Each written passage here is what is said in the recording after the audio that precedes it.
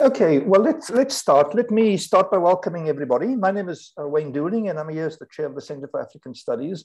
And my job is uh, purely ceremonial today um, to welcome all of you, to especially welcome our speaker, Ngozika Obi-Ani, who is visiting us from the University of Nigeria.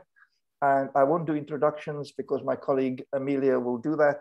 Um, and I will, without any further ado, I will hand you over to Amelia, who will introduce our speaker and introduce uh, all of our panelists. Thank you, Amelia.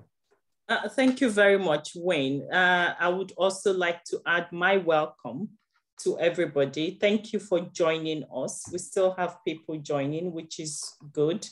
Um, today, we're welcoming our Leventis scholar who is in residence with us here in SOAS and, and that is in the person of Dr. Ngozika Obi Ani.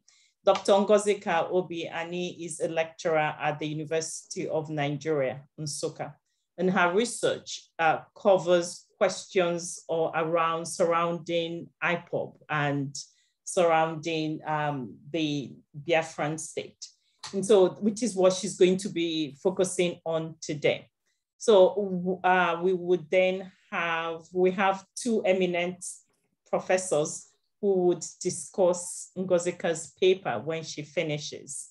And we have Professor Murray Last, who is more Nigerian than I am. He knows a lot about Nigeria. He's been in various parts of, uh, of the Nigerian state and very much understands the uh, Biafran war, the agitations. And so he's going to be our uh, one of um, our first discussant.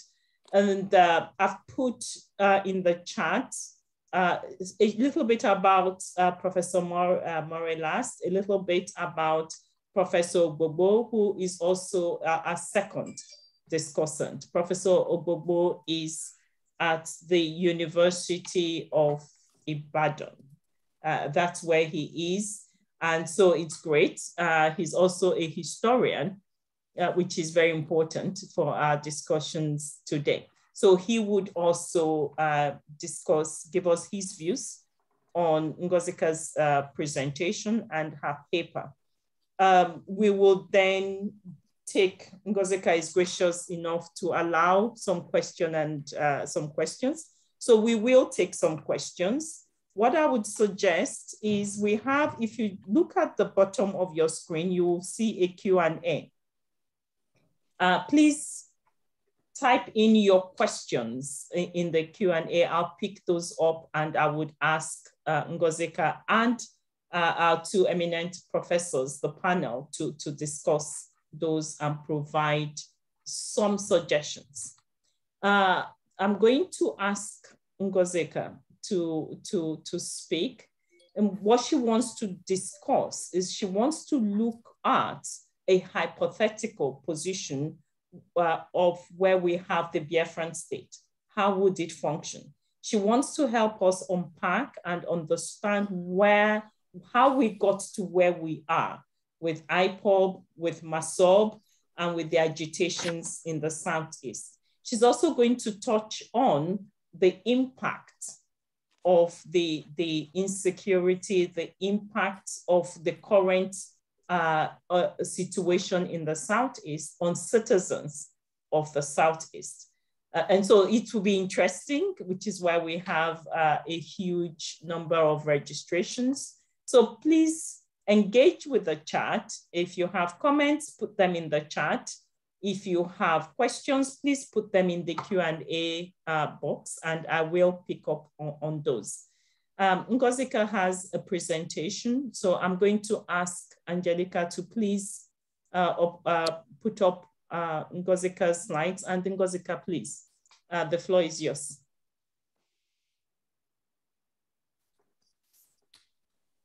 Okay, good evening, everyone. Good morning, good afternoon from wherever you are connected from. I'm uh, Ngozika Obi-Ani. I lecture at the Department of History and International Studies I my research is focused on conflict studies, gender, and then women. So today we are going to look at the hypothetical state of Biafra, some thoughts. This is uh, is not. Uh, I'm I'm not. Uh, I just want us to think about it. Anyone from the southeast of Nigeria will know that uh, there are recent developments in southeast Nigeria. So my thoughts, we've seen works on Biafra, civil war, memory studies on Biafra, and the idea now is that all of us, we want this state of Biafra because of what is happening in Southeast today. So my research, my paper is trying to say, how do we discuss, how do we remove emotion in this, uh, our quest for a separate existence from Nigeria, and then think deeper on if we should have this Biafra, what and what, what are the possibilities? What are the pros, what are the cons, what are the impossibilities of having this separate existence? Or like I ask, or will a restructured Nigeria, if Igbo will not be better off in a restructured uh, Nigeria? Angelica, please, you can now start sharing the slide. So anyone, the Nigeria Biafra was started in 1967 and ended in 1970. Prior to that, we had the uh, tensile issues that uh, led to that war. We had the uh, election crisis, census crisis, Tiv uprising, and then the, the hallmark of it was the January 15 coup of 1966, uh, where some Igbo army officers masterminded that coup. And in that coup, on the night of long knives, you found out that many uh, political and army officers from uh, the northern and the, the western extractions were murdered. Only one Igbo lost his life. Shortly after the war, at the end of the day, the killings became well known. And again, some, some quarters mentioned that the attitude of some Igbo people domiciled in the north within that period we are not there. They were so happy about what happened to the Sardauna of Sokoto, who is a kind of a, theory, a theocratic and a political leader of the Northerners.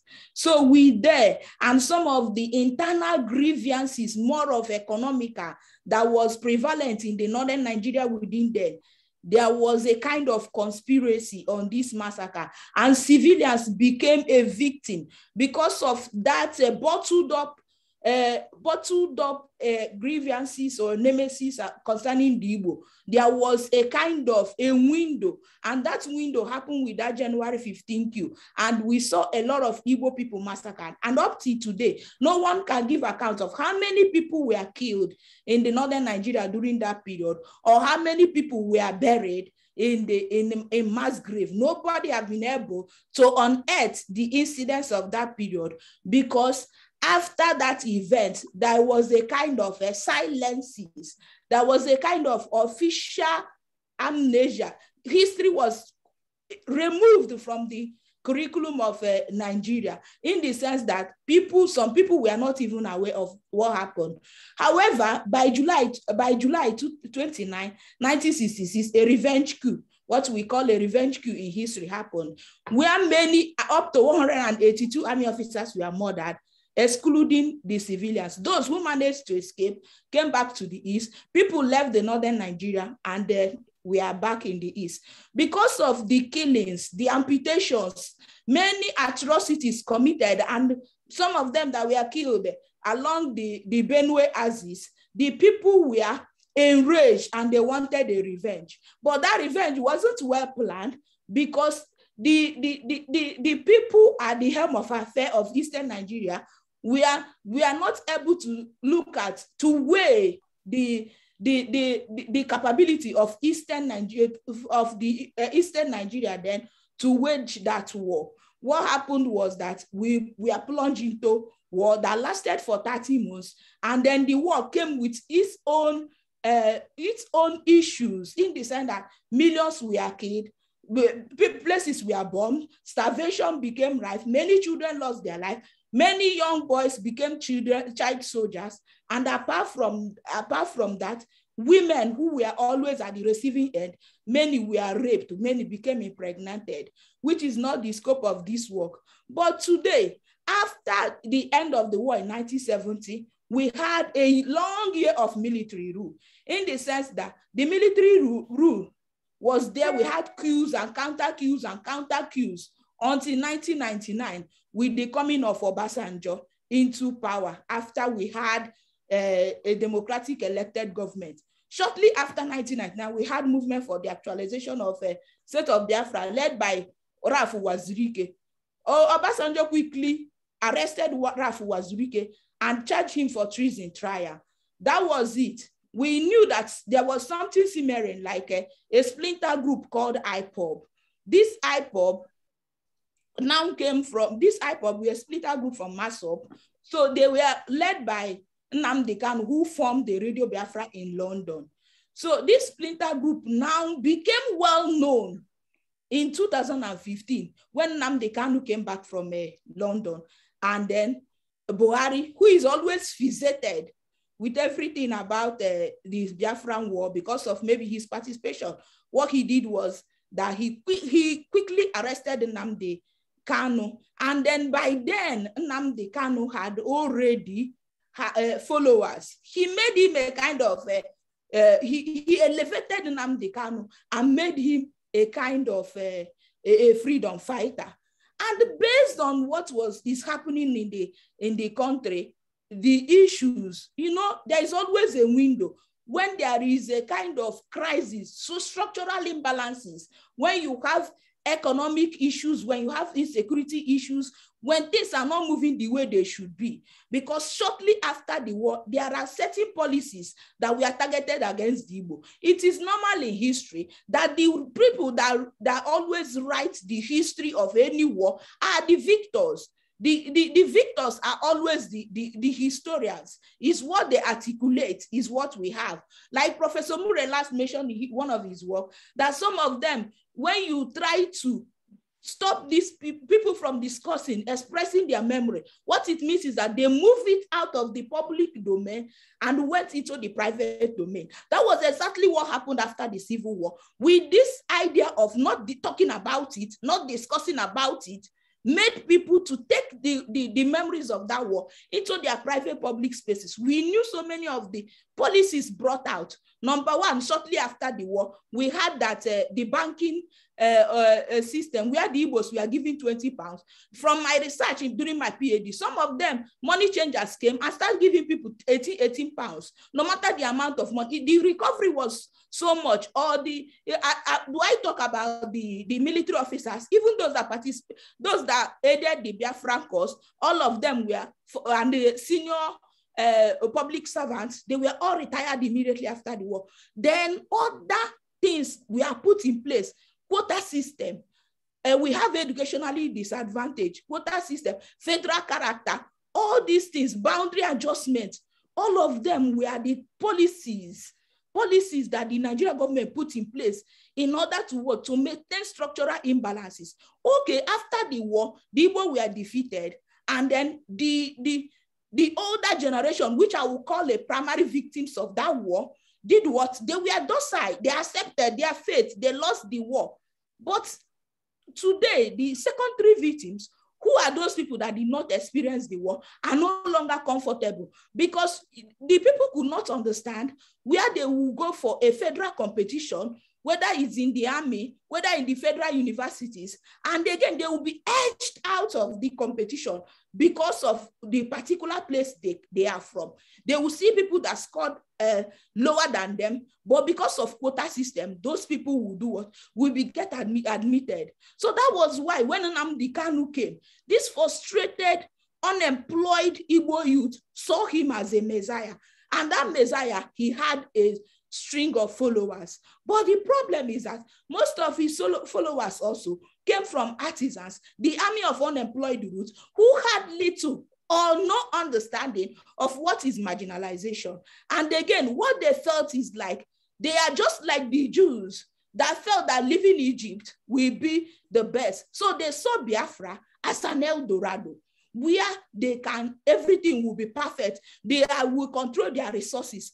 But apart from that, the IPOB and their strategies sometimes don't go well with some enlightened people. For instance, when you look at it, the sit at home order that have been rife in the East, Look, eh, the Nnamdi Kanu, each day he will go to court. It's become a national holiday from the East. Easter. Every Monday is declared eh, eh, a, a, a, a sit-at-home order.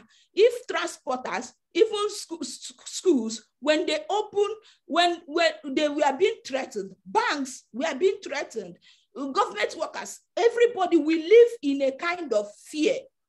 We live in a kind of fear because of this order others and counter others. You can't just cut your nose. You, uh, you, you, can't just cut your face to spite your nose to spite your face. In the sense that this is a kind of economic violence. I've witnessed not once, not twice, where people where people's were were destroyed.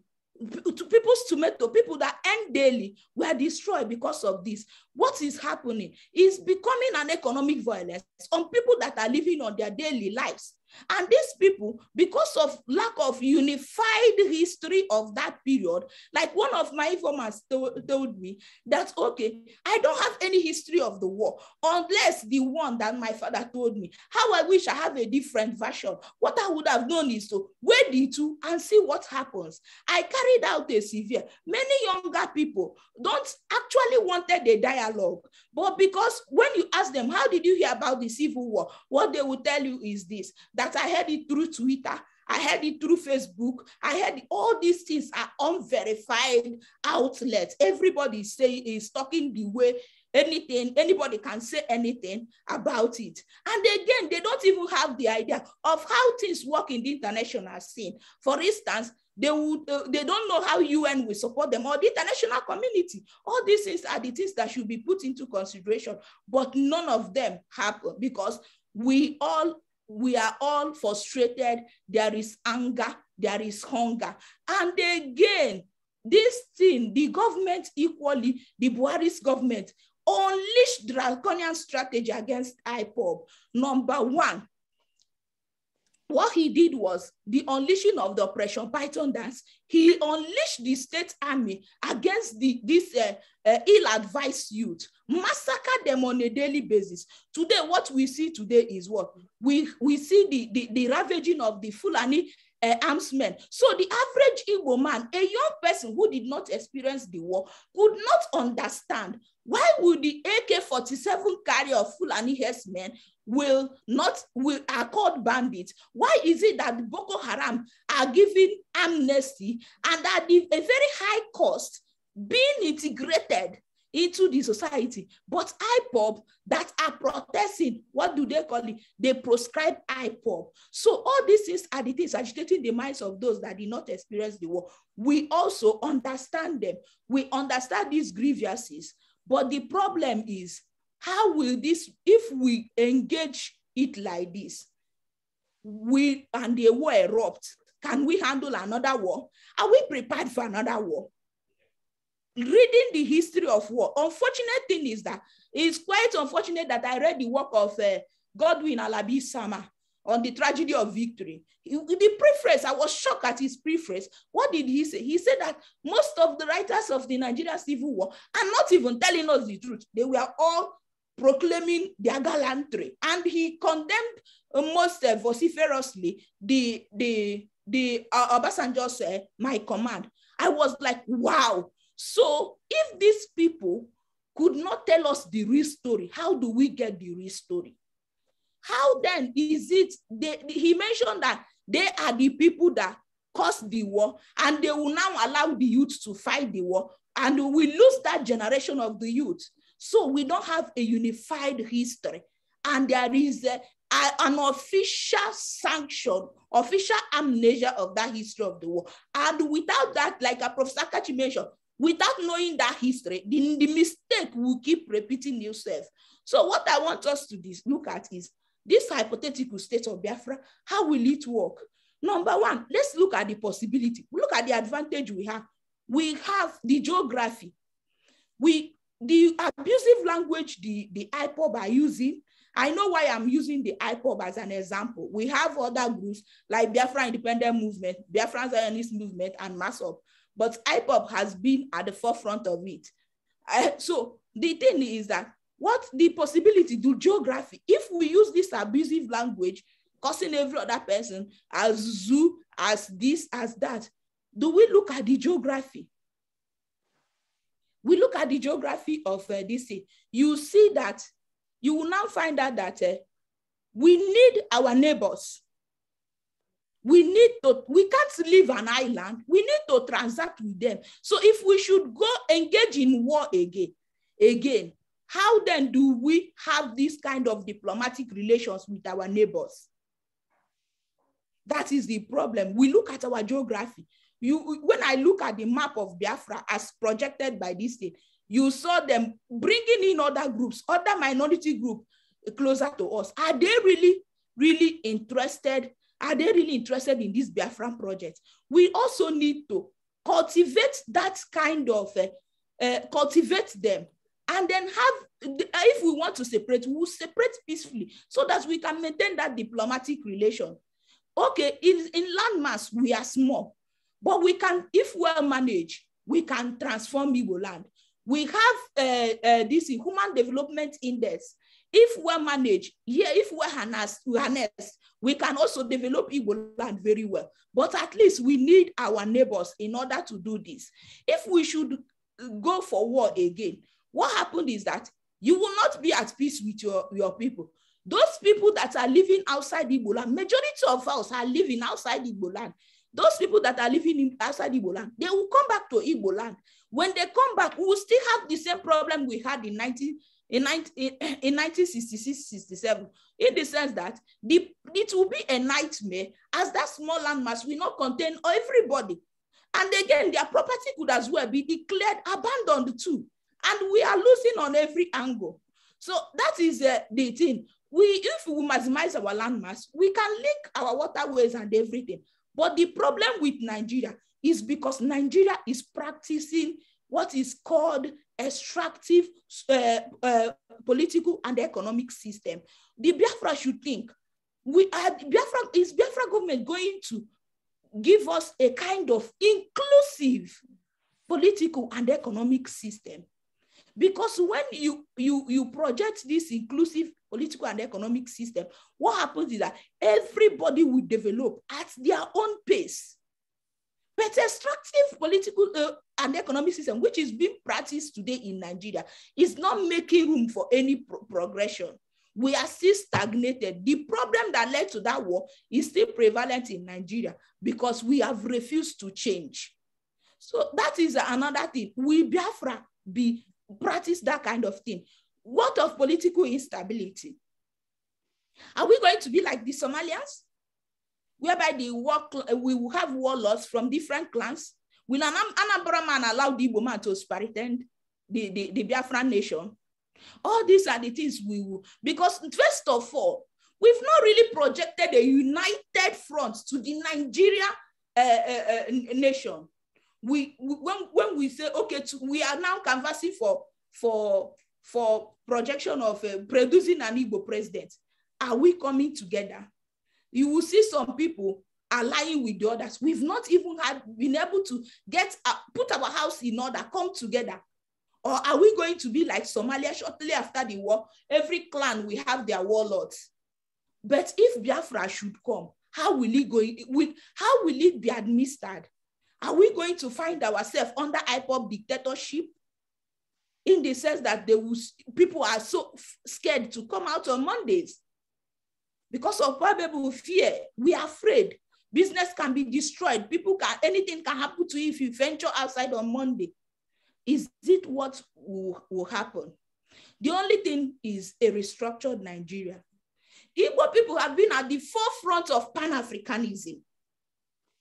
I think if we the Nigerian government should be restructured, the best thing is that all of us we will have an inclusive political and economic system in which every group, in which the government, what the government should do is what? The government should allow each, each state to develop according to their pace. But no, the, the, the, the almighty omnipotent federal government will not allow that because they, they are just like Father Christmas. They dole out, they will come to the state, take what belongs to the state, and then they will be doling out, it out to the to the component units the way they like. We are all witnesses during Obasanjo's, uh, uh, Obasanjo's administration. He had issues with the Lagos state government. What did he do? He seized their, their, their allocation. This, despite, you know, some of our presidents, they don't even listen to, to, to uh, uh, uh, cut injunctions. So what happened is that the, the states are, are the ones, are the crimes, at the mercy of the federal government. Another thing now, so what we need is that what they should do is that things should be done normal.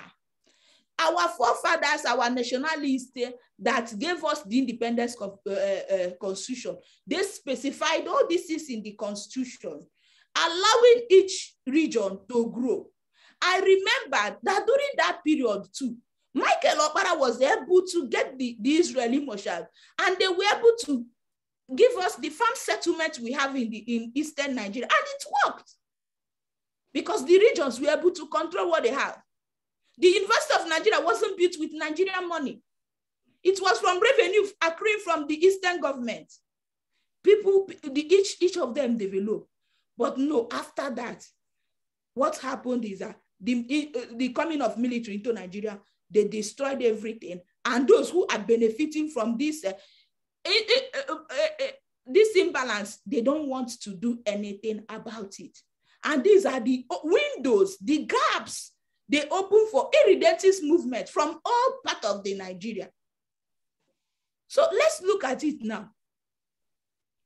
The, the, the they say that, the Susi say that eh, that somebody without a guide, if you are fighting a war and you don't have a guide, it will lead you to the bush. Why is it that Nigerians and the Nigerian government, they are not interested in state police? We need a state police.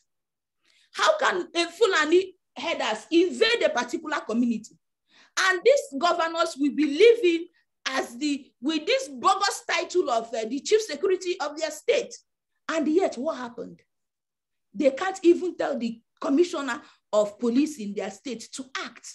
The police commissioner will have to ring Oga in faraway Abuja, where lives were being lost. When the, the Fulani attack in 2016 attacked the Nimbo in Uzo-Uwani, our governor came around, I was crying like a baby. Because he was what? Incapacitated. He couldn't do anything. When it happened in, uh, in Benue State, our, our president was, uh, was bold enough to tell us that he commanded the IG of police to relocate to, and he never knew the man never took his order. He's the only person that wears the shoes that know where it pinches. In the sense that if we have a state police, it will come from the people from that state that knew the terrain very well. They can handle the issue of insecurity in their own, in their own states. But no, the almighty omnipotent federal government want to control everything. They, why are they, why are people afraid of state police? Number one, this army of youths will be employed. Nobody will be frustrated that the person cannot be enlisted in the Nigerian army or in, uh, in the military because he's uh, because of quota system. All of us will develop and remit whatever they can to the federal government. These are the things that should be considered. And when Nigeria moves, if Nigeria wants to stop this agitation, it, the only thing is to do the right thing. And that right thing is when you practice a, an inclusive political and economic system, all this issue will fizzle away. The, the issue of uh, the issue of uh, of uh, uh, marginalization, the issue of unemployment, the issue of insecurity, they will all this steam will just naturally die. But never. Our government is rather not is rather afraid to hear about secession. That was why money that should be used to develop infrastructure, give good road in the southeast is being used to do what? In order to quell the hyper secessionist movement, killing uh, uh, uh, young boys. And again, what about the issue of this unknown gunmen?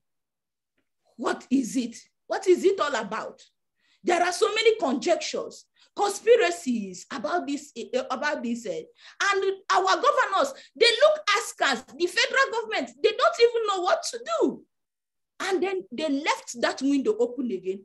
and IPOB fill the gap by providing the Eastern Security Network. And the people want to be protected to move around and they need to be protected to, to, to carry out their daily business. So these are the windows that the federal government and the state government they left wide. They left the security of the of the they left the security of the people, the security of the lives of people and, and property of the people, and then allow non-state actors to take uh, charge. It is said that the, the, the, the, the, the, the beatings of the war is easy, but the rhythms are very difficult to dance. Whether the, are you a protagonist or an antagonist or antagonist of the of uh, Biafra agitation, you need war, war, war. Most of the people I interviewed, they want war, war, war. I was even surprised that people that experienced the war, war war, war, war. War is now sophisticated. Ask the, ask the Ugandans, ask the Sierra Leones. I am afraid when a child of 12 years will be recruited as a child soldier. When you go to Sierra Leone, during the Sierra Leone uh, issue, young boys are allowed, Ugandan issue, they will make you to kill one of your parents. They will make you to eat uh, somebody's flesh. What about the young girls? From nine years age, you will be raped. Who wants another war barely 50 years after the Civil War? So my, my, my, my discourse is, how do you think the possibilities are the possibilities of this hypothetical state of Biafra? We need to jettison uh, emotion and think well. There are internal factors. From my research, I discovered the internal factor, factors that actually agitating the minds of the people. The economy is so bad. People are graduates and they can't find a job. One of my informants mentioned that the brother graduated and the person who is supposed to recruit him demanded 1 million for him to be given it. These are the things that people want a change. When the economy is good, people can feed, people can sleep with their two eyes closed. The irredentist movement like IPOB will not have a, a, a follower. What we need is a restructured Nigeria. And I'm sure the a restructured Nigeria will be a big field where Igbo can thrive uh, Abari, Senator Abaribe mentioned na ọgụ abịa. What it means is that you don't go and bring war into your mother's kitchen. If you come with war into your mother's kitchen, so many things will be destroyed. Who is the loser? You are the loser. We, not, we need to remove emotion and think hard about this state of Biafra and then reason that we don't need to bring war to our mother's kitchen again. Thank you for listening.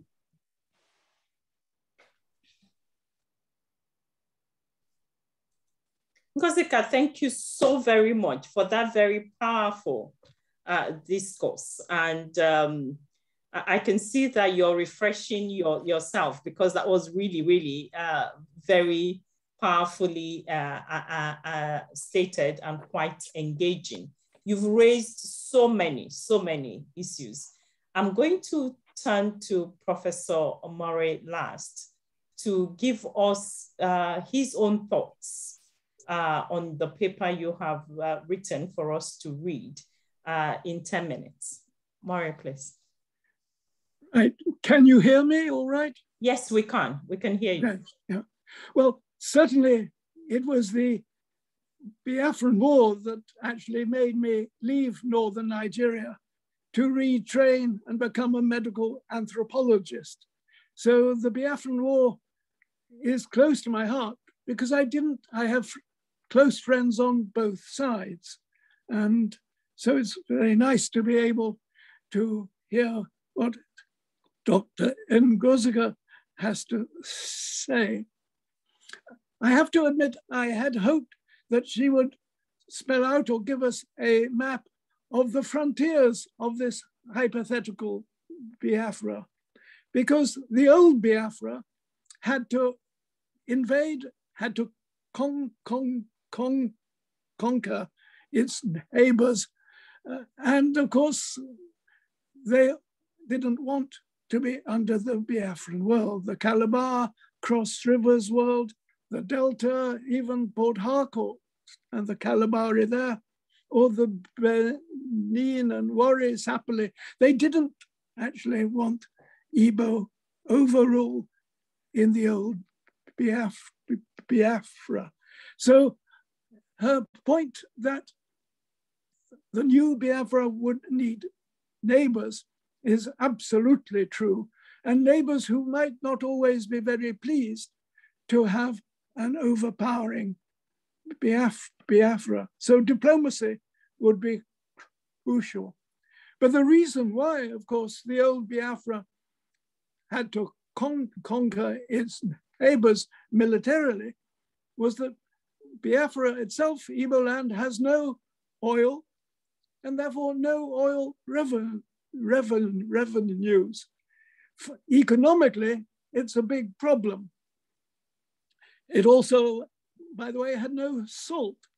So it's difficult to cook as nicely as Igbo food is if you have no salt. So there's a very real sense that a new Biafra would need access to the sea as well as to an income stream as good as oil, even if in the new system oil may be downplayed. But I think we can be sure that oil prices will remain fairly high. But my other big problem with the paper is the focus on what I would regard as tribalized Nigeria, where one speaks of Fulani or Igbo. Uh, she didn't use the word Yoruba, and I'm glad she often referred to Southeast or East, East, East, East, East, Easterners. But to be honest, if Nigeria is to work, one's got to downplay, in my view, the tribalization to become mixed and moved and to be able to move a round.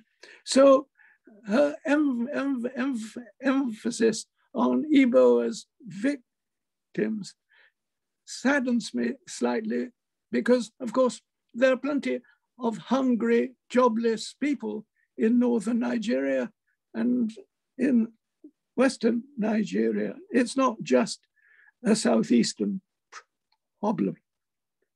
The other point that worried me was her emphasis in calling, not just for the restructuring, which I can see is all part of the debate about states versus federal relationship, whether it's in the USA or Nigeria or anywhere else, even this land with its Scottish and, and uh, other nationalisms.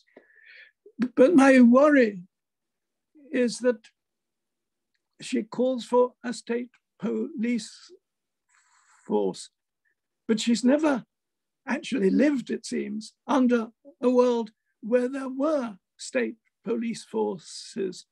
It was a radical reform to get rid of the state police forces to create a federal police force.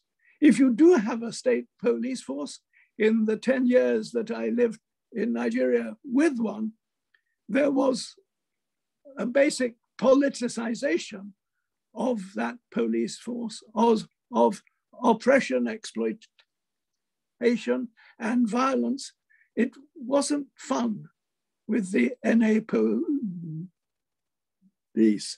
And I think, to be honest, Dr. Ngozika needs to look at the history of the police from the grassroots as a state form of political oppression. If you want to see it now, just look at the Hisbah in Kano, which is actually a state police force. It's technically an illegal, an illegal, legal one. It actually has a prison, which, which they aren't supposed to have, but they function. And with a lot of the Kanawa, they're a real problem. So think more carefully about the history of state police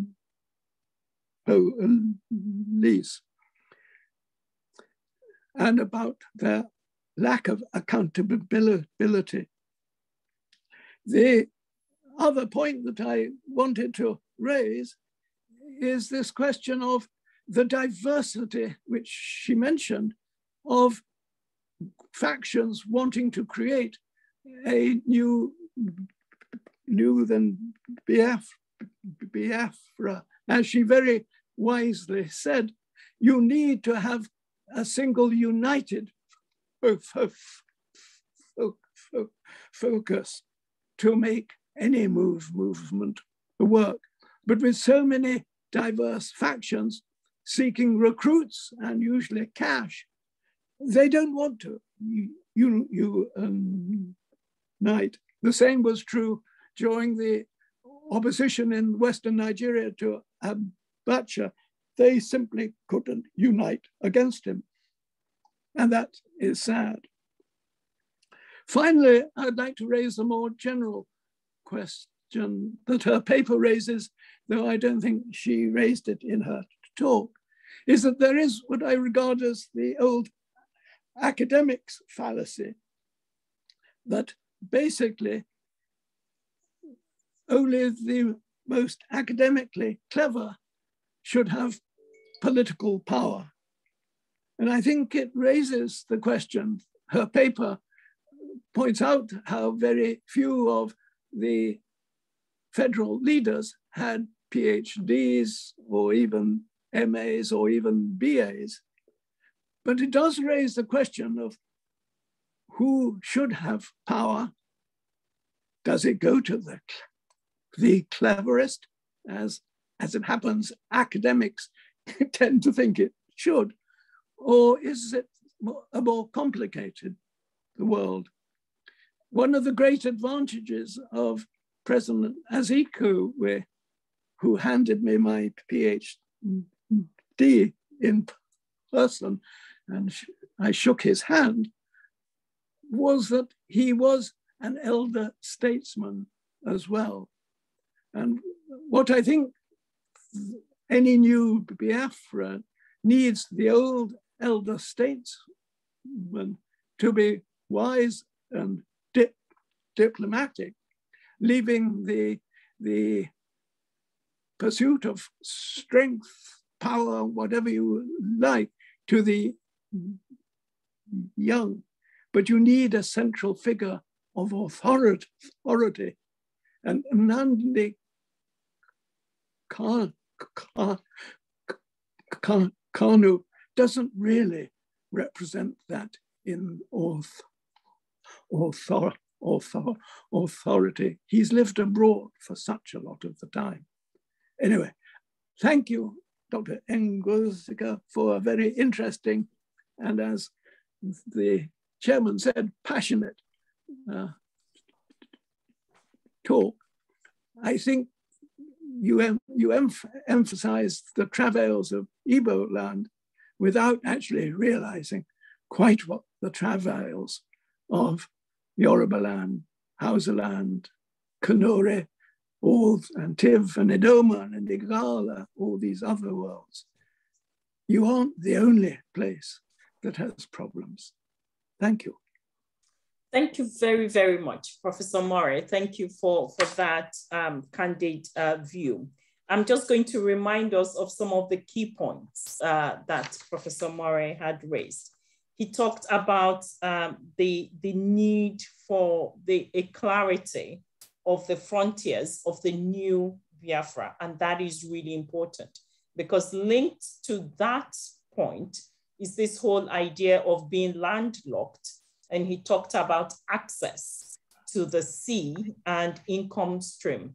Um, and Professor Murray was talking about a couple of decades ago before uh, oil was found in the Southeast. So right now we have uh, Southeastern states that are also designated as oil producing states in Nigeria.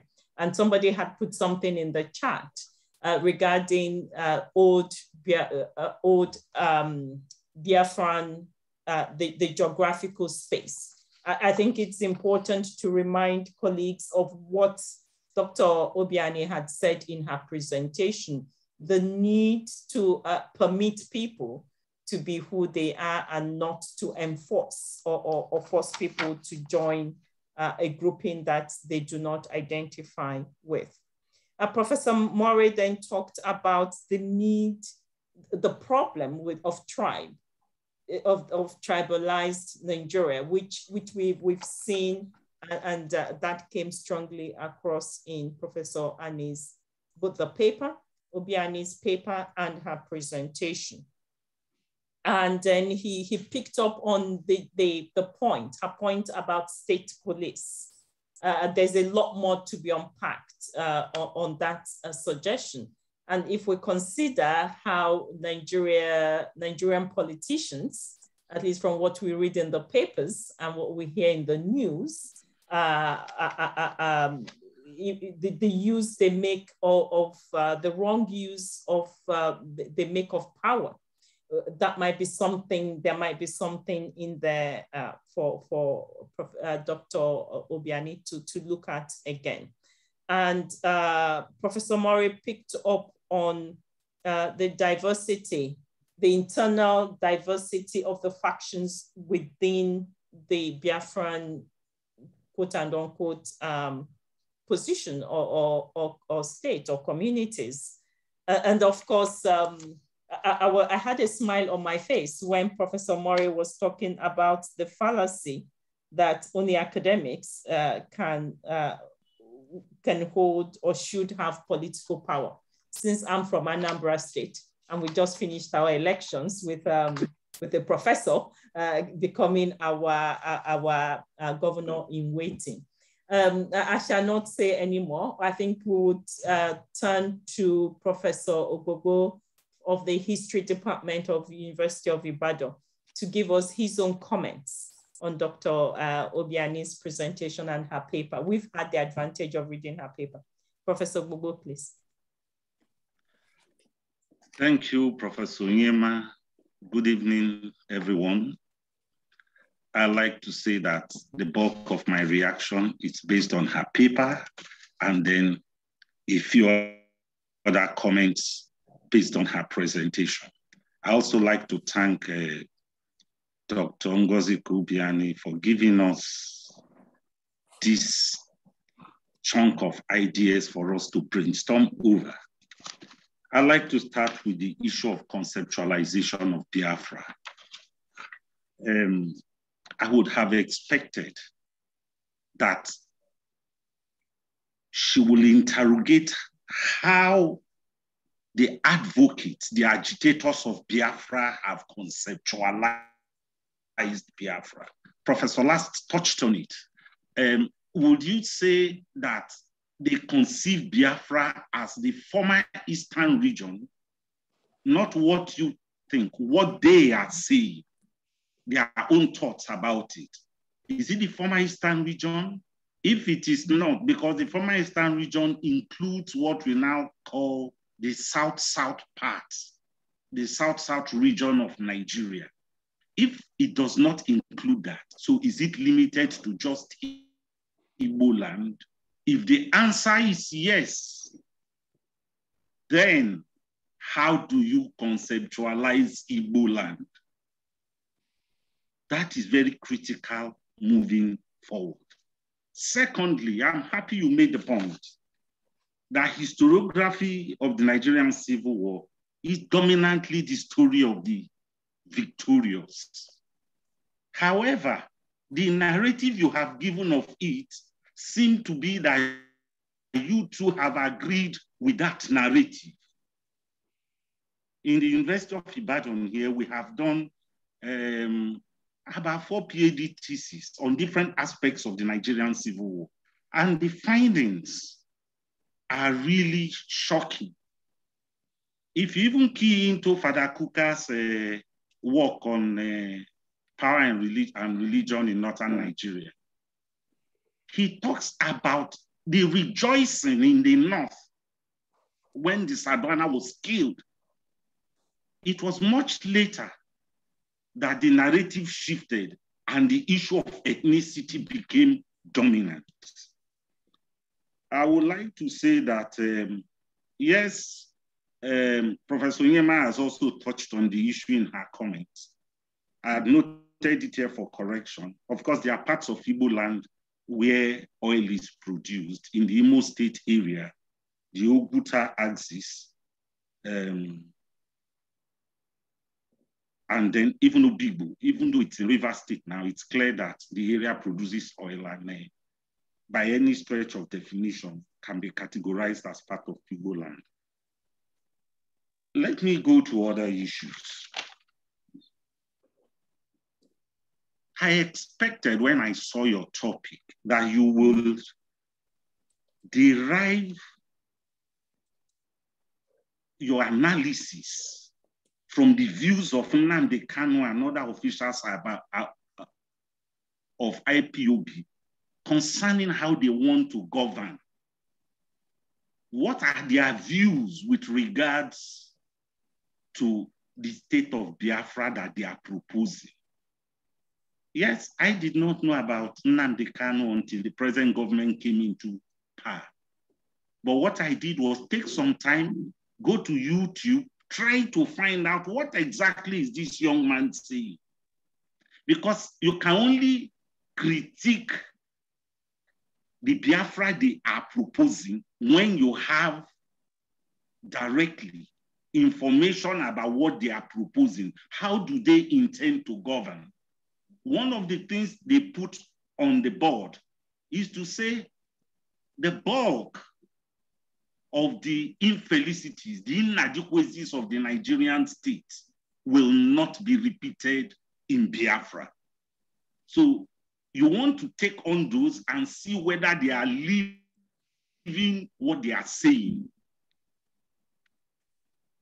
How will the Biafran state of Nnamdi Kanu's dreams, for instance, will differ from the Nigerian state? Again, clearly,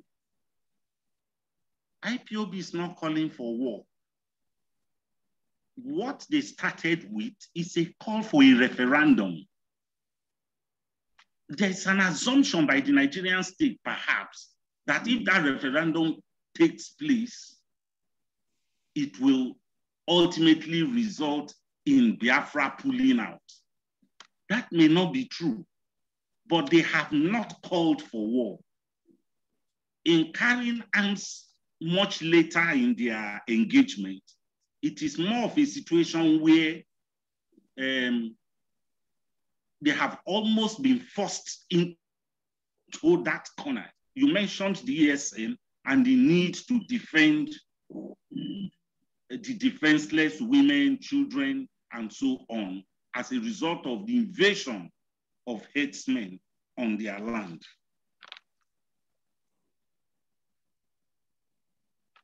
I would also have expected you to contextualize the, your discussion within the larger Nigerian framework. What do I mean? Um, the injustices, yes, it may be more towards the Igbo, but there are a lot of other groups who are heavily discontented with the present Nigerian state. That's why you find the likes of Sunday Igboho emerging even from some other minority groups, I'm aware that there's a Midwest movement. And their position is, look, if Biafra goes and Nigeria is getting dismembered, they also want to be together as a group. So it must not be assumed that if Biafra goes, what is now Nigeria will remain intact. So hypothetically speaking, other groups that may break away may also be willing to go into discussions, harmonious, friendly relations with Biafra. I am not supporting that Biafra should pull out, but you are talking about a hypothetical situation. And so you need to interrogate all this. The cry for insurgency is across the country. Boko Haram, what is it about? It's insurgency. Sunday Igboho in the Southwest is about insurgency. So it is not peculiar. That means the Nigerian state is sick and needs to urgently be attended to. And that is where I have issues with your paper, because your paper is heavy on restructuring as a panacea to the crisis in Nigeria. Yes, but the managers of the state, you have not told us what should happen if and when they refuse to restructure. It's now take, don't forget that the Goodluck Jonathan administration called for a constitutional conference. That, that document that was produced was about restructuring. Now it is set aside. Injustices are taking place. People are calling for those injustices to be addressed. They are calling for restructuring and the state is not engaging them at all. In that circumstance, what do you propose? Beyond the call for referendum, beyond secession, you are saying, yes, if Nigerian state goes the path of restructuring, but the Nigerian state is not doing that. So what should happen? And I think um, you a bit in your paper, not presentation now, too lopsided about the unviability of a Biafran state. Let me play the devil's advocate. I am not for the dismemberment of Nigeria. However, supposing Nigeria says we don't want Biafra, Biafra be on your own, are you telling me Biafra will not survive? In fact, I could argue that all the points you have raised the contrary is the case in terms of human uh, manpower, the threat to their property. The bulk of Igbos today, yes, stay outside their homeland, but a substantial percentage stay outside Nigeria. If Biafra pulls out, who says that it will mean a return back to Igbo land? It may mean a further dispersal to other parts of the world. And they have excelled very well in today's world, we are talking about human capital. What is the size of Japan as a country? And yet look at its economic capabilities. So all I'm saying is if you put on the scale, you can't just dismiss it with a wave of hand. Nigeria is better and the Igbos are better off in a united, just, and progressive Nigeria. In in Nigeria, you have advocated should be properly restructured. But if that is not happening, then what will you advocate for?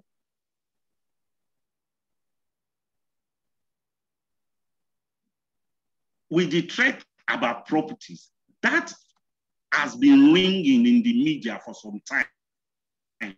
Once IPOB issues come up, I partly grew up in Port Harcourt. I knew about the abandoned property issues.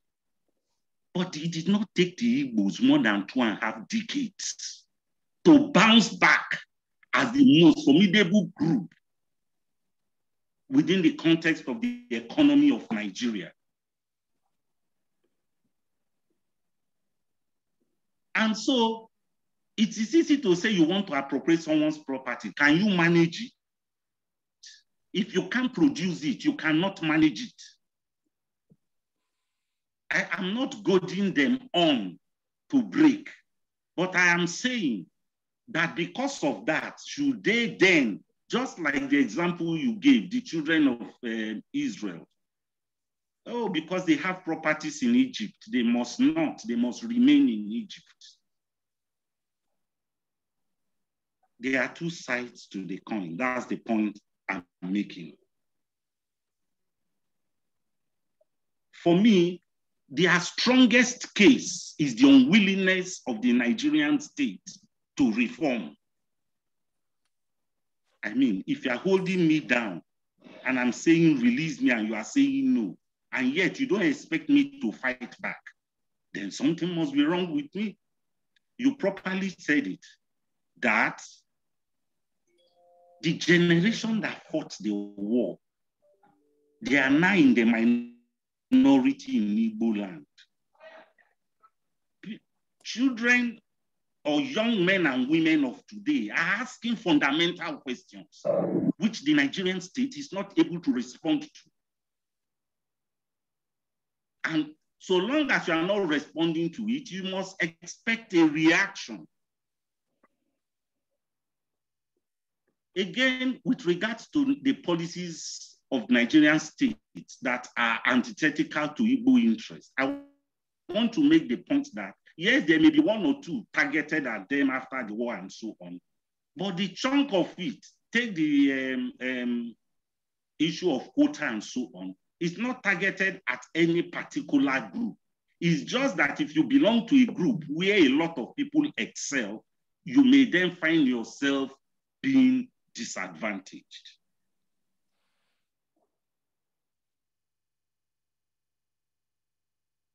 And so um, that impression needs to be corrected that they are basically anti-Igbo policies. And with regards to the point uh, still on correction, history was not removed from the school curriculum in order to suppress information with regards to the Nigerian Civil War. I can tell you as someone who has been in the saddle championing and championed the return of history, that the basic reason was the introduction of social studies and civics in the curriculum, the first nine years of the school curriculum. And then they tried to persuade historians, the education policy makers, history and geography will be part of social studies. When the curriculum was now drawn up, there was little or no history in that curriculum of social studies. So for 33 to 34 years, history was not taught at those levels. And that has produced the kind of young men now who are agitating and demanding for the breakup of the country, not just in the South. What is the age of Sunday Igboho, for instance? Did he study any history? In the Middle Belt area, there are quite a number of voices showing discomfort and also interested in breaking away. The truth is, is this Nigeria is better together. However, it must be a Nigeria that is just and fair to all. I thank you very much for the opportunity to express my views. Thank you so very, very much, uh, Professor Ogbogbo. Thank you for, for those comments. So I'm just going to try and summarize uh, what the, the core points that Professor Ogbogbo raised. Uh, and he goes back to that idea of how Biafra is conceptualized, but this time from the perspective of the agitators for, uh, for uh, Biafra and how do we construe the geographical limitations or, or, or, mappings of, of Biafra, because of course then that will feed into some of the uh, this, uh, issues we've already raised. Uh, he talked about uh, us not, maybe we need clarity and understanding of Nnamdi Kanu's vision uh, of how they will govern if they take over the reins of power. And can I just add there that uh, it shouldn't just be Nnamdi Kanu, uh, their view. It must be the views of all those who actually reside in, in, in Igbo land. It's, it's not enough for those of us who are not necessarily uh, directly impacted by the actions taken in the Southeast to dictate and say. But it is for those as well who reside there, who are heavily impacted, whose livelihoods are impacted, who should also have a say on how that should be governed. And so it goes back to what Dr. Um, Obi-Ani had mentioned about inclusivity. uh, about, about en proper engagement and identifying what sort of state uh, the, the uh, Biafra should become. And, and then uh, Professor Bubu then talks about the core problem. And he talks about uh, the need for us to have a country that is united, just, and progressive. Ultimately, the, the sense that is coming through being that, well, if Nigeria as a state was functioning, I don't think anybody uh, uh, in this webinar would, would contest the fact that Nigeria is not functioning.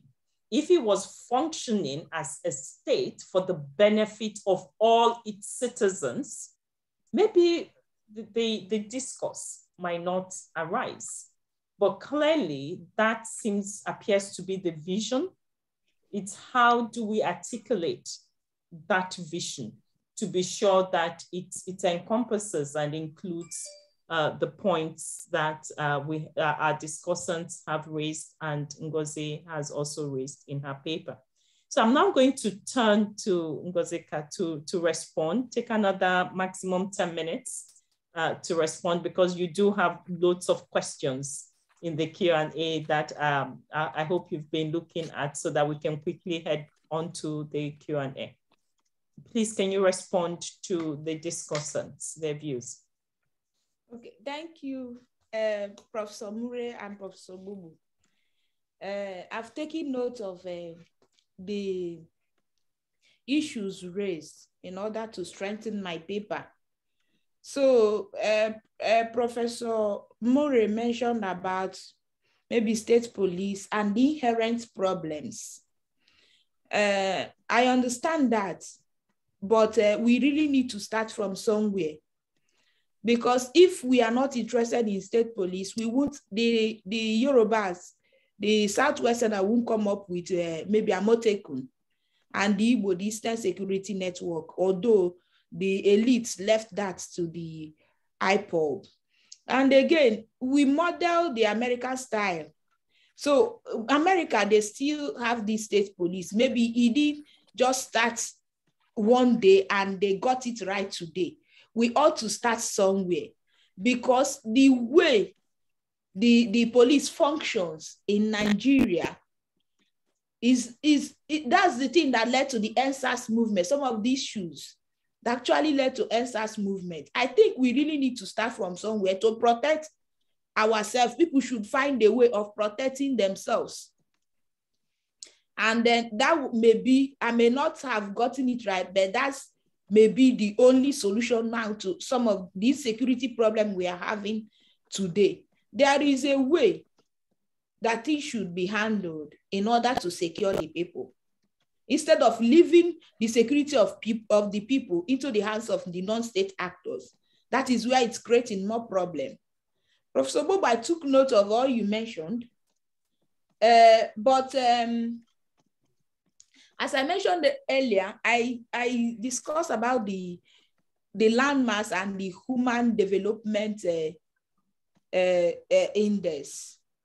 And again, I had only issue with where you mentioned that how the abandoned property issue. Prof, I can confidently tell you as a student of the of Biafran question that many people actually lost their life as a result of that loss. Many could not recover. Many went back to the villages as a result of that. And you claim we bounced back into the decade in, in two decades. Do we expect to rebuild again and then bounce back again? Because we have the capacity.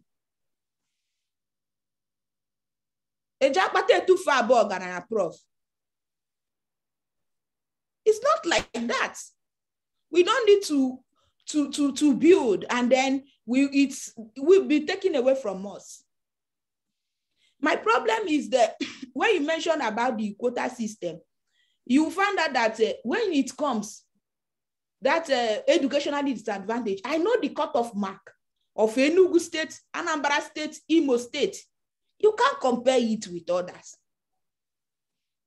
It's always very high. And this agitates the minds of the people. And when we discuss about the history, what I'm talking, my problem is not that the history issue is peculiar to the people of Igbo, of, uh, of uh, Igbo ethnic group. But the problem is that the history of the war should be known. Because if they had known what happened or what transpired, it could prevent a lot of things. By those, my, my research interest, my focus on Biafra has been on those that did not experience the war. That was why in my PhD, I tried to understand the people's experiences during that period. And that's why I went into the field to understand the perspectives of these people that were born. And you found that their problem is mainly on the economic issues and social and political issues in the country. It's more of contemporary. And when things are placed, put in place, in my survey, I had over 500 people that uh, uh, that uh, responded to my survey. And most, the majority of people from 18 to 25, more than 90% of them said they want what? A dialogue. And then you are, it's true that I agree with you when you mentioned about that the Nigerian state has placed the IPOB to the that corner of struggling to defend themselves. But the, the, the, the, the, the, thing, whatever the, Niger the draconian measures the, the Nigerian government adopted, is back to the East. Political assassinations, killings everywhere, the activities of the unknown government. The, people, businesses are relocating out of the eastern states. If you are living, it's all if you are in East, maybe you understand the pain more than that was why I'm trying to say, let's remove emotion. How will this state of Biafra work? I, I, that thing was uh, one of my, the editor, the person that looked at my paper initially, removed the aspect of where I mentioned about how they think this thing will work. They say they will have different parliaments where every dialect, every language can now, uh, they can now interact uh, make uh, do um, they work with their language and then maybe later they have a kind of one single language. But the only thing is that if you Edo, you speak Edo language. If you are this, Igbo will function with Igbo language. They just have a way. We are not talking about Ethiopian.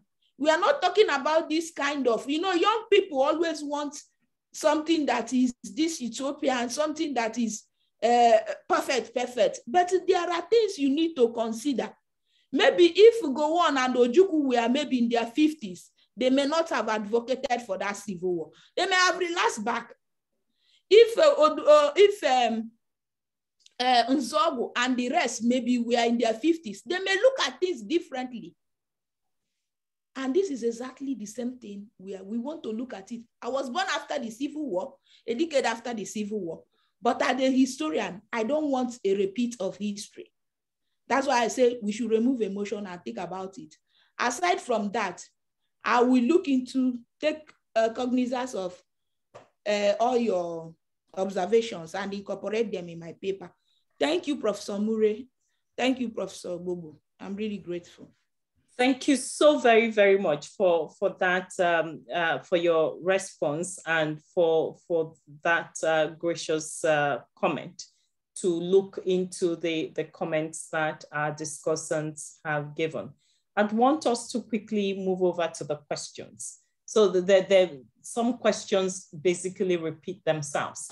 So what I, am going to start with um, the the questions on restructuring.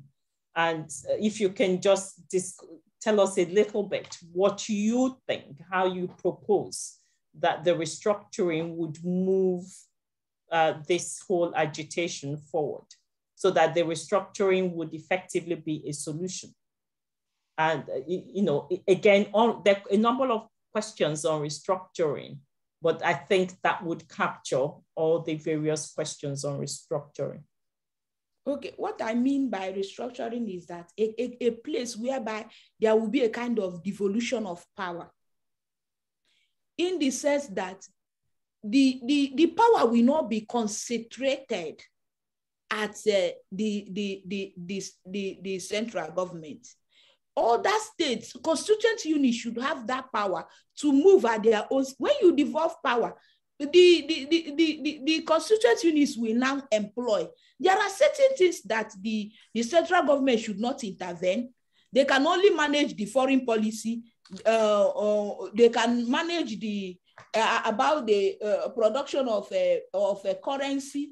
They can now, they, there are things that are in their exclusive legislative list, foreign policy, def defense, immigration, custom, and the power to coin money.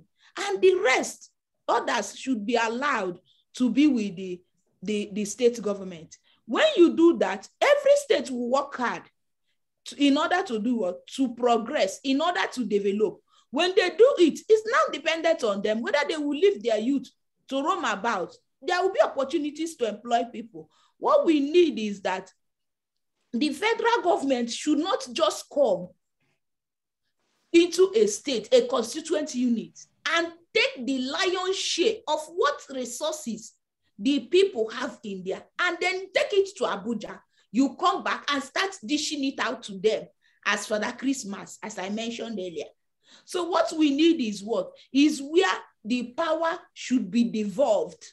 The central government should not have the ultimate power. Rather, power should be devolved to constituent units to allow them develop. And when you allow them develop that way, what you have in essence is what? Is an inclusive political and economic system, allowing everybody to develop at its own pace. And then these problems, this infrastructural uh, uh, development, all these things will put to rest. Okay, thank you. I want to pick up on another group of questions, and that is to do with the state police. And uh, I'm going to formulate this as a question which is whether do you think that the state governors would hijack, using the word of techno, um, come on, uh, whether the, the state governors will hijack uh, state police for use for political uh, purposes? That I've, I've presented a paper somewhere, a lecture somewhere on the state police. And these exactly the questions I encountered on that day. The state police is about fear. We are afraid. Before you go into state police, certain things should be in place. There are certain things that we are, it's because of the kind of uh, politics we play in our part of the world that people are afraid of this abuse. But if they are supposed to uh, if they are supposed to put in place this state police, there will be structures, there will be uh, constitutions guiding uh, uh, this thing. These are there are ways you put in place certain things that will now curtail abuse of power by the state governors or by this thing. Okay, now that they don't even have, we don't use a state police. What happened? We have insecurity. The police are even poorly paid. Most of them are even when you divide the police, you find out that major half of them are busy protecting one big man in Abuja or one business uh, man, leaving the majority of the people with little police to handle them. So there are fears. I know that my my what I know is that it's not something that could easily be uh, that can work immediately. But I think with time, and then if we're able to change our mindset on how we handle politics and the and the, the politics of money or stomach infrastructure, maybe with time we may get it uh, one way or the other. But us leaving the the the or the, the state governors being incapacitated cannot act in the face of danger to protect the citizen is not also an, a, a good option. So this thing has not worked since uh, this thing. What nailed the idea of state police? Remember, during independence, the, the, the independence, the, the, it, the power was given to the regional government to have their own police, employ their own police. It's equally, even the, the Republican Constitution of 1963 did same. But it is the 1999 Constitution that nailed the idea of each region having its police. In the sense that they say that there's been no, we have only NPF, uh, Nigeria Police Force, that no other uh, other uh, unit can have that. And again, that was the problem we have. The governors are now the, the chief security officer, but they can't even give order to the commissioner of police in their state. And most of all, the commissioners are not even members of the state. So when somebody is not your, is not from your own area, how will the person respond when you are in danger? It takes someone with the, a good heart to do that. If the person may not, the person may not act well. Okay, uh, I think uh, just to a, a quick uh, detour to, to one of the points that Professor Murray made. And again, that's that question around tribalism and the whether Nigeria can ever become detribalized. And I think that's also coming through. One of, and that might be something that you may want to also take on board and properly look at uh, when you do redo the paper. And the second point uh, is on the state police and whether uh, these whole secessionist movements are actually an indication that the country is not ready for state police. And it might also be a security question for, for the, the, the Nigerian uh, uh, federal government. But those are things to consider. I want to move on to another group of questions around language and whether you know the role that language can play, whether it's going it's a help. You've already mentioned the fact that the way the IPOB conceptualizes their their their leadership would be for uh, people to operate in their different languages. And so we have a question here whether that would be a help or a stumbling block for the development of the region. Can I ask you to give very short answers so I can take as many more questions as possible? What do you think on the, the language point? Uh, as uh, the, the language is not, when I saw that thing from the IPOB WhatsApp and then the map, I, I was like, I don't really know. We will end up having a common language in which we can interact. There are all the our neighbors we can't i can't even hear their dialects. They may not even hear my own so the thing there the issue of language i think uh, we will end up at the end of the day having a common language. And that common language will be in english language because we can't interact in Igbo and we can't interact with uh, any other dialect that is in existence in the entire south southeastern nigeria former southeastern nigeria. Okay, so so that then takes me, maybe I was anticipating that that would be your answer because the very first question we have queries whether Biafra is synonymous with Igbo. What do you think? For now, for now, those in Southeast, Biafra is synonymous with Igbo. Now, for those in Southeast. Because from my survey, over 500 people, I incorporated people from South South and North Central because of the how the IPOB have they've been projecting this so-called Biafra in the sense that the North Central are part, they are part of it, the South South are part of it. So one of the questionnaire I asked, are you a Biafran? And then people from that region said no. They are not Biafra. So for now, Biafra is synonymous with Igbo. Okay.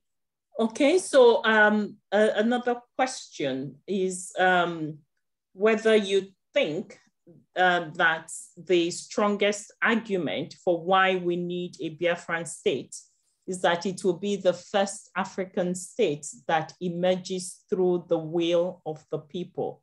To answer this question, I think you should also engage with how do we know what the will of the people is?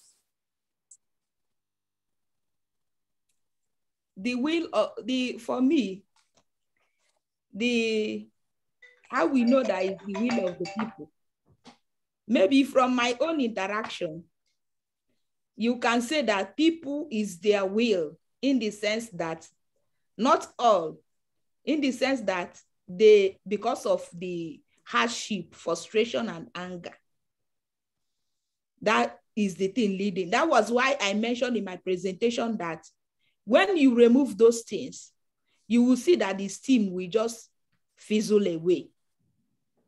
Fizzle away. Because one thing people fail to understand is this. When it comes to dialogue, the people that, that are in that meeting are the big men on suits, not me and you. They will definitely exclude us in that dialogue.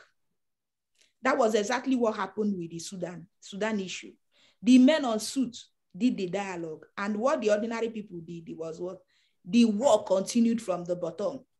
That was why we are thinking that if this thing should come, let it come from the bottom, not from the men on suit again. We are tired of the men on suit. So the will of the people is based on the problems inherent in the Nigerian politics. Minus that thing, nobody will talk of secession. Okay, so um, the next set of questions uh, it's on gender, uh, because of course you work in that field as well. And so this is a question that asks whether you considered, whether you have considered the gendered aspect of the imagined Biafran state. What role and how women would thrive. I think for now, for the purposes of this question, let's disregard Nnamdi Kanu's rhetorics and the Radio Biafra rhetorics. But how would, where would, how would the, the females fit within the imagined Biafran state? This is a really a very interesting and question and uh, maybe a hard one at that. So the the the idea of women the only thing I'll tell you is that we are in a patriarchal system. Women, we are projecting, but not that we've gotten there. So I think that if the Biafra should emerge, it will not be different from other African states that practice uh, patriarchy. Women will still face certain marginalization somehow, somehow. So Biafra, even those projecting it, they've not said, okay, that women will be equal with men. Patriarchy will still rear its ugly head. Okay, let me push you a little bit uh, on, on this gender question because I am a very, very strong, uh, I, I wouldn't describe myself as a, you know, whichever, put myself in a camp, but I'm a very, very strong believer in the equality of human beings whether you are, whether it's a question of uh, race, gender, whatever. Uh, I'm a firm believer in that. I want to push you a little bit on, on, on this question of gender. Where, how would you reimagine, what is it? If you're speaking for the women, Igbo women, the women, you know, folk uh, that are Igbos, what what do you think? What would you want to see within the reimagined Biafran state? What I want to see is simple. I want them to remove some cultural practices that have subordinated women from the beginning. All the cultural practices that are against women in every locality, in every community. Those practices, whether they claim it from their ancestors or whether they claim they got it from somewhere, once they know what to do in order to remove those impediments to women progress. So what I what I want is number one is it's culturally uh, hinged, it's culturally infused. Once those cultural practices are removed, subjugation of women, all these things uh, is what I want. And what I want is for the women to equally stand up and say no and not allow the men to mobilize these cultures, imputing fears in them in order to do what? To continue subjugating them. That's what I'll tell the women. Thank you so very, very much, um, Dr. Uh, Obi-Ani. It's been an amazing uh, an hour and a half of discussions. Um, and so I would want to uh, ask Professor Murray and Professor Ogbogbo if they want to come back for maximum two minutes each, max, to if you have any finishing words, uh, last words before I go back to, to our, our main uh, uh, presenter. Uh, let's start with Professor Ogbogbo, then we'll come to Murray. We started with Murray the last time. Professor Ogbogbo, please.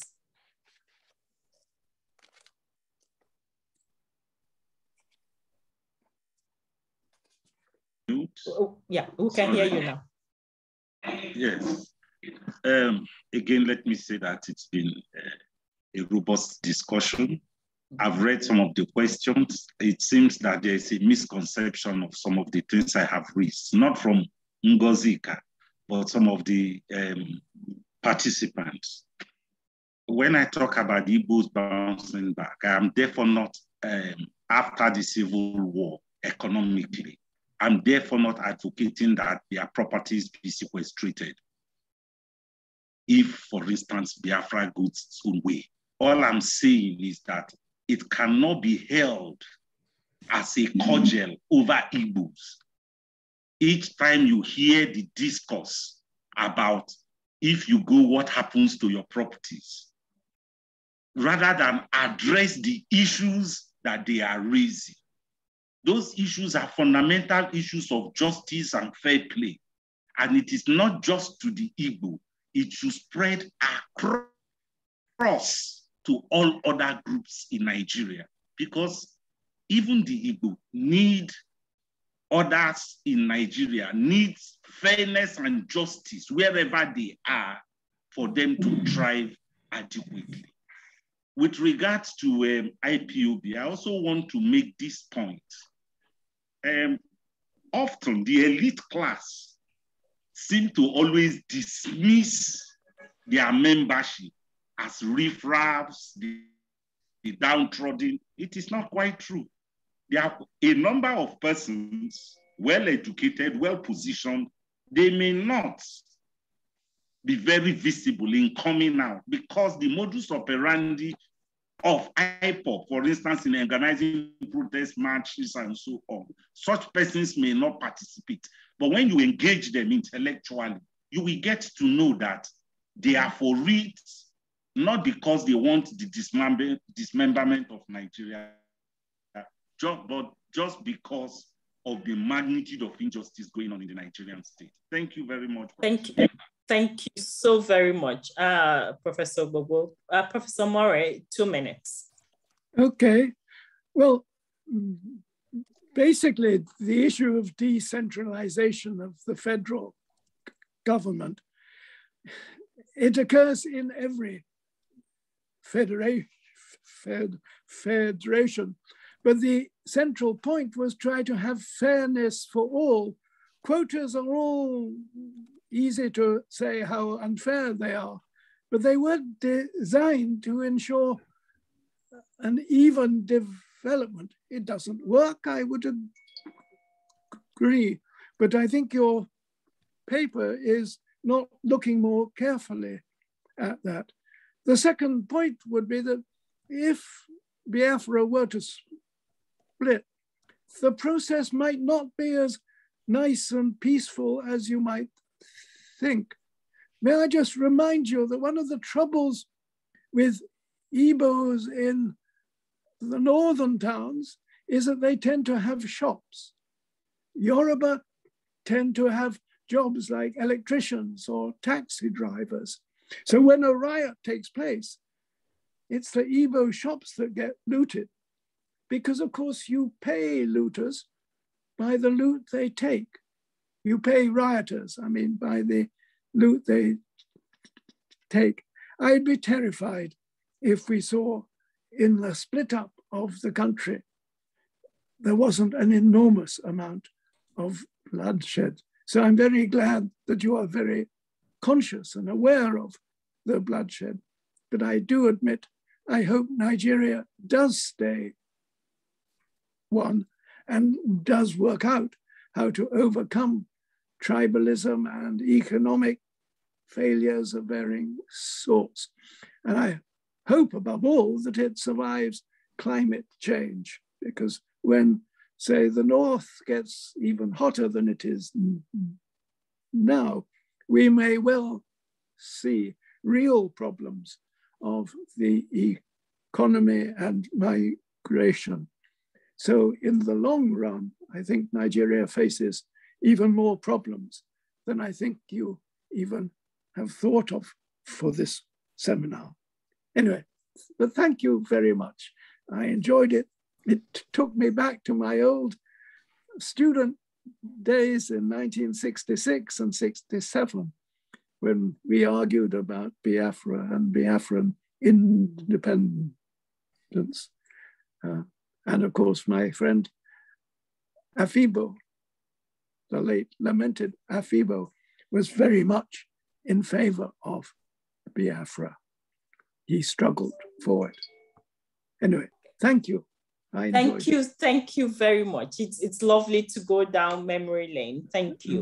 um, before I ask Ngozi to to give her last words uh, on this webinar, of course, uh, it might be useful for while we're waiting uh, for now um, to to begin to appreciate and understand and engage with the participation of the Southeast or the Igbos or the, you know, the agitators, whoever, for participation in the current democratic process that we have.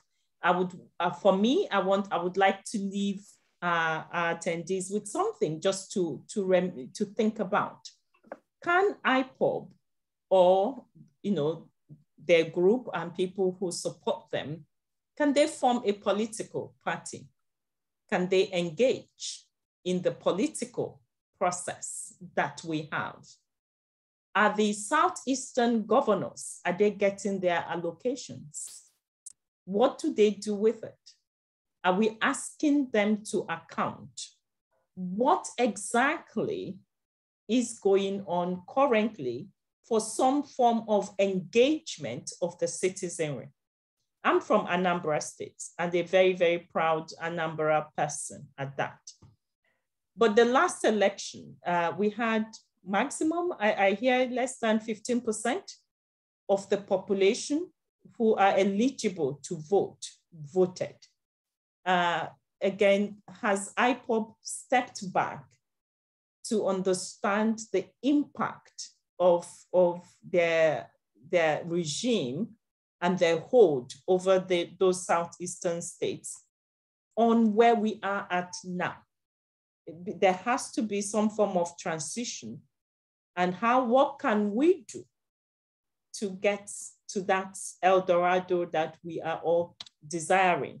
And let me remind us what that El Dorado is. Uh, the words from Professor Ogbogbo. He says that what we want is a united, just, and progressive Nigeria. Uh, and so I'm going to ask Ngozi to, to give us um, her concluding remarks. In Two minutes, Ngozi. Thank you, Professor Emilia, for being a good host. I thank all the participants. I thank Professor Murray and Professor Ogbogbo. I thank my colleagues from uh, uh, Alliance for Historical Dialogue and Accountability uh, that participated, and then my colleagues from Conflict West Africa Network. I can see some of you here. And then I thank uh, my students that joined, my family, everyone. I can see some of them here. And uh, Angelica, you've been so wonderful. You're an angel. You, you made my stay here very, very, I can't, I can't explain. You are just that big sister the big sister, playing the big sister role uh, here, and then you made me feel welcome, and then feel I felt at home actually. And for all the stress I gave you, I hope you can manage them. and then Dr. Vilia, she has been there. She's my sister and everyone. I really appreciate you, Professor Wayne. I thank you for sharing this and uh, Professor Emilia for being a good host. I can see my eldest brother here, Michael, Professor Michael Onyebuchi from Netherlands. Thank you, my brother, Dr. Chuku from Ireland. I saw you too. And all my cousins, I saw all of you, they all participated too, my students, everyone. And we saw your husband as well. Hey, I did see you. yeah, he said something about his amazing wife. okay. okay. And then I thank my husband if he's here. He has been so wonderful. And then uh, he has uh, supported my career, manning the home front each time I'm out of the country. He has been so wonderful. Everybody should thank him because it's not easy being raised in a patriarchal system and he's still giving the wife, go ahead, go ahead. So he's the kind of man everybody should emulate. Thank you, thank you, one name, thank you, one name. I thank everyone. Thank you for your participation.